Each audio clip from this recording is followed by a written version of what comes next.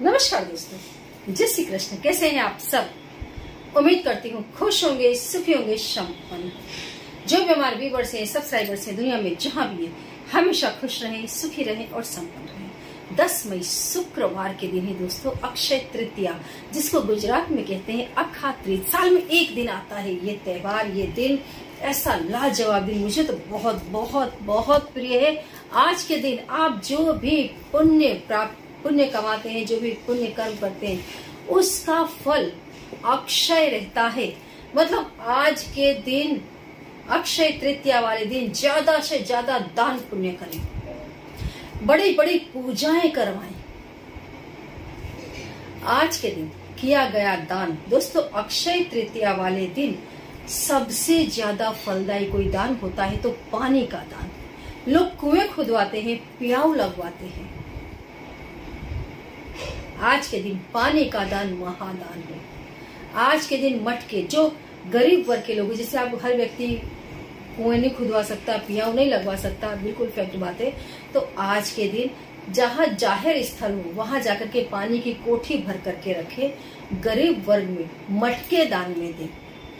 मटके में पानी भर करके दान में दे। पानी के अंदर एक सीज़न का फल डाल दे दोस्तों। ये दान आपका अमिट हो जाएगा। हमेशा उसका फल मिलता रहेगा। कुछ लोगों ने जो ये कहा था, मैडम, खरीदारी का जो समय क्या रहेगा, मैं आपको बता दूँ, जो शुकर्मा योग लग रहा है, वो दोपहर बारह बजकर सात मिनट से है। जो दूसरे दिन दस बजे तक रहने वाला है, इसमें आप किसी भी चीज़ की खरीदारी करेंगे, शॉपिंग करेंगे, आपके लिए बहुत ही बेस्ट रहेगा। और एक बात बता दू दोस्तों, इस बार अक्षय तृतीया को बहुत अच्छे अच्छे योग है।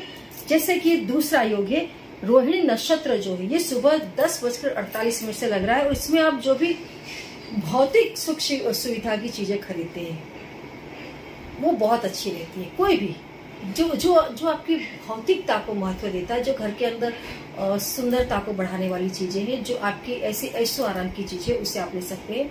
आज के दिन सोना चांदी खरीदने का भी बड़ा अच्छा मुहूर्त होता है। अक्षय तृतीया वाले दिन घर में सोना लाना ही चाहिए।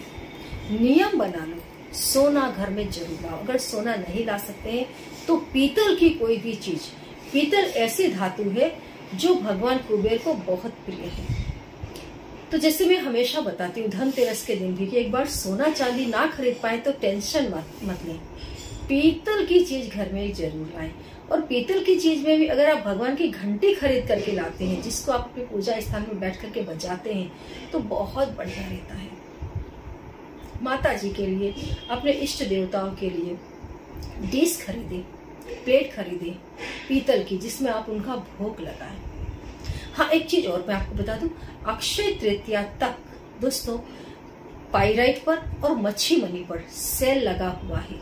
बहुत सारे व्यूवर्स, सब्सक्राइबर्स जो बार बार कह रहे थे, मैडम पाइराइट पर सेल लगाइए।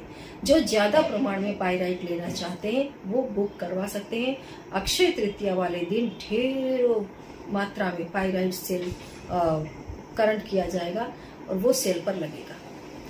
तो आप अपनी बुकिंग ले सकते हैं। मच्छी मनी एक लाजवाब स्टोन है जो कुसंगतता से छुटकारा दिलाता है, विदेश यात्रा करवाता है और अचानक धन की प्राप्ति करवाता है। पाइराइट ऐसा स्टोन है जो गरीबी को जड़ से हटा देता है।